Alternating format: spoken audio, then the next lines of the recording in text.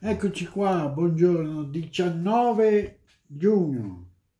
Vediamo insieme cosa ci propone oggi il libro dell'anno. Versetto di oggi, Osea 13, 6.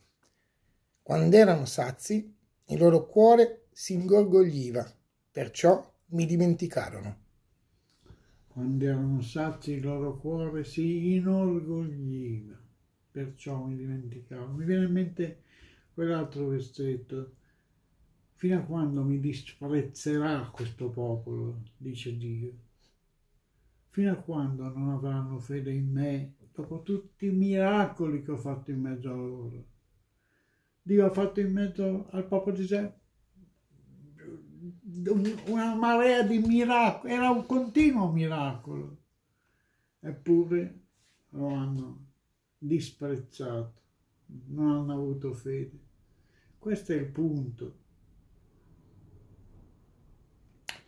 I motti di oggi. Dobbiamo imparare a vedere la natura, gli altri, Dio dobbiamo imparare a vedere, voi penserete, vabbè ma è chiaro, vediamo, eh ma eh, passa tutto, è come se fosse tutto normale, invece dobbiamo concentrarci sulle opere della creazione di Dio, dobbiamo pensare alla meraviglia di un fiore, la meraviglia di, un, di, una, di un'alba, di un tramonto, la meraviglia dei fiori, dei vegetali, degli alberi, del, Mm, la vita è meravigliosa, è una creazione di Dio, non dobbiamo passare nel tempo con superficialità, dobbiamo fermarci intanto a riflettere e ringraziare Dio e vedere Dio nella sua potenza di creatore. Essere cristiano in Cristo, vivere da cristiano per Cristo, soffrire come cristiano come Cristo. Sì, eh, questo è il nostro cammino su questa terra e quindi dobbiamo sempre fare riferimento al Signore Gesù. Rileggilo questo motto. Essere cristiano in Cristo. In Cristo. Vivere da cristiano per Cristo. Vivere da cristiano per Cristo. Soffrire come cristiano come Cristo. Soffrire come cristiano come Cristo. Ricordiamo questi motti veramente profondi oggi. Le sette epoche o dispensazioni. Sì, è molto importante perché quando leggiamo la Bibbia dobbiamo sempre inserire il brano che stiamo leggendo in una epoca. È uno dei tanti criteri della corretta divisione di cui ci parla 2 Timoteo 2,15. Quindi vediamo adesso una, una se, le, le dispensazioni, le epoche dall'inizio alla fine per quanto ci riguarda, per la nostra esperienza. Poi ci saranno altre epoche in futuro, anche dopo l'ultima che vedremo oggi. Però per il momento noi stiamo vivendo in questa epoca mm, e vediamo in, quale, in che catena si inserisce. 1. Lo stato edenico o dell'innocenza, culmine espulsione da Eden. Sì, il paradiso, Eden e alla fine l'uomo viene espulso a causa del peccato. 2. Periodo senza legge, i tempi dell'ignoranza, Atti 17-30, culmine, diluvio e giudizio su Babel. Senza legge e quindi viene distrutta tutta l'umanità. Poi 3. L'epoca sotto la legge, culmine Israele messo da parte. L'epoca della legge e alla fine Israele viene messo da parte per un piano più importante che verrà introdotto. 4. Il periodo della grazia, culmine grazia. il giorno del Signore. La grazia, la grazia. Questo è il punto dell'epoca centrale. È scritto che noi che viviamo nell'epoca della grazia viviamo al centro dell'eternità. Siamo al centro dell'eternità. L'epoca della grazia è l'epoca che sta al centro della eternità. Quindi siamo davvero in una situazione straordinaria, noi credenti nell'epoca della grazia dobbiamo davvero ringraziare il Signore e fare di tutto per portare questo messaggio di salvezza in Gesù intorno a noi. Quindi ricordiamo l'epoca della grazia al centro dell'eternità. 5. L'epoca del giudizio, culmine la distruzione dell'anticristo. L'anticristo e la sua distruzione. 6. Il millennio, Il millennio culmine la distruzione di Satana e il giudizio del gran trono bianco. è la fine il giudizio finale. 7. Lo stato eterno di gloria senza fine. Nuovi cieli e nuova terra e lo stato eterno di gloria senza fine. Quindi queste sono le epoche che la scrittura ci presenta. E ricordiamo, noi stiamo vivendo nell'epoca della grazia che è al centro dell'eternità.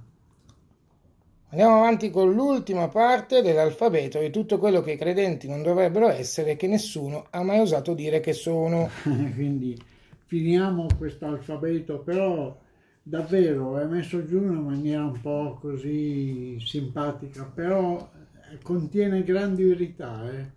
Purtroppo tantissimi credenti fanno proprio parte di una di queste categorie che abbiamo visto cominciando l'altro ieri dalla A alla Z. Adesso vediamo l'ultima parte. Quotati in borsa, troppo ricchi. Alla Q, costati in borsa, troppo ricchi. R. Religiosi, molta forma, poca sostanza, molto denominazionalisti. Sì, da... Abbiamo detto? Religioni. religiosi, molto, Religiosi, molto religiosi. molta forma, poca sostanza, Molta molta, forma, denominazionalisti. S. Superficiali, si accontentano del culto, di qualche versetto, di qualche preghiera. Eh, T, Titubanti, non si battezzano mai. U. titubanti, Q, U. U, Universalisti, Dio è buono, alla fine salverà tutti, me sicuramente. me sicuramente. V. VIP, sorridi, Dio mi ama. Sorridi, Dio mi ama. Vi ricordate quei distintivi, sorrisi, Dio ti ama? Purtroppo per molti il motto è sorridi, Dio mi ama.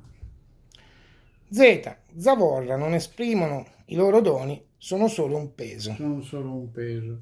Quindi rileggetevi, cominciando dall'altro ieri, l'alfabeto e riflettiamo. Siamo mica caduti in, una- in qualcuna di queste categorie, riflettiamo e possiamo sempre staccarcene e ricominciare. Soggetti di preghiera di oggi, preghiamo per il gruppo dei giovani della mia chiesa. Il gruppo dei giovani che ha grandi potenzialità, spesse volte rimane lì senza far niente di importante e invece il gruppo dei giovani delle nostre chiese hanno una potenzialità incredibile. Preghiamo che la vogliano usare. Preghiamo per le persone colpite da malattie sconosciute. Malattie sconosciute, sì, sì, preghiamo. Preghiamo per le zone d'Italia con una scarsa presenza evangelica, oggi per la Calabria. La Calabria, La tragica situazione della stragrande maggioranza della popolazione dell'India. l'India, povertà, malattie. Adesso si sta riprendendo un po' eh, l'India, però rimane una situazione terribile. Sono un miliardo e mezzo e un sacco di sofferenza. Per la preghiera di tutti gli stati del mondo, con 8 milioni circa di abitanti, 39 lingue, preghiamo oggi per il Senegal. Il Senegal. Benissimo. Allora ripetiamo i versetti e i motti. Dobbiamo imparare a vedere la natura, gli altri e Dio. Dobbiamo imparare a vedere, non passare superficialmente su tutto, ogni tanto fermarci a riflettere sulla meraviglia della creazione, sulla meraviglia dell'amore di Dio, sulla grandezza della grazia. Fermiamoci qualche volta, ogni tanto, fermiamoci e riflettiamo e alziamo gli occhi al cielo, ringraziamo il Signore per il suo amore, per la sua grandezza, per la sua santità, per la sua verità, per la sua meraviglia, per la meraviglia di quello che ha creato. Essere cristiano in Cristo, vivere da cristiano per Cristo, soffrire come cristiano come Cristo. Questo è il nostro cammino. Il cammino che abbiamo su questa terra in attesa del ritorno di Cristo. Versetto di oggi, Osea 13,6 Quando erano sazi, il loro cuore si inorgogliva, perciò mi dimenticarono. Eh, questa è una situazione triste che purtroppo è successa col popolo di Israele e spesso succede anche oggi. Noi lo dimentichiamo, affermiamo magari di essere cristiani, però non viviamo da cristiani e quindi anche noi ricadiamo in questa, in questa denuncia del Signore Gesù. Fino a quando mi disprezzerà questo popolo? Fino a quando non avranno fede in me dopo tutti i miracoli che ho fatto in mezzo a loro. Quindi riflettiamo davvero. E se c'è qualcosa che dobbiamo aggiustare nella nostra vita, aggiustiamola, come mettere un, un, preparare un tempo per la preghiera, un tempo per la lettura della Bibbia nella nostra giornata, l'evangelizzazione attenta. Se c'è qualcosa che dobbiamo correggere, facciamolo, perché è tremendamente importante non deludere Dio. Dio si aspetta da noi la piena consacrazione, non deludiamolo. Bene, grazie allora ancora per la vostra stima e a presto.